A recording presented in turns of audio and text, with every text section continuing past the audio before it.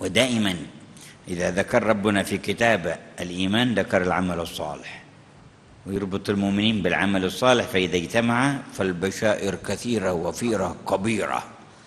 لمن تحقق بالإيمان وال والعمل الصالح إيمان وعمل صالح. وبشر الذين آمنوا وعملوا الصالحات إن لهم جنات تجري من تحت الأنهار. تو في سورة البقرة وامش كل ساعة بتحصل للذين عملوا الصالحات.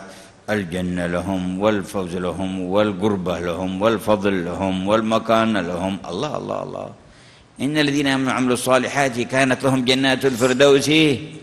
نزلا الله الله الله, الله. إن الذين آمنوا وعملوا الصالحات أولئك هم خير البرية خير الناس. فإن كان فيك عقل لا تقدم شيء في حياتك على أن تقوي الإيمان وتحسن العمل الصالح. خلاص. هذا نجاحك وفلاحك وخلك الكلام الطويل العريض والفلسفات حق الناس. قوي الإيمان ثبت العمل الصالح وأنت الناجح. أنت الفالح أنت الفائز أنت الظافر أنت المنعم. أنت الحائز خير الحياتين وسعادة الدارين. قوي الإيمان ثبت العمل الصالح.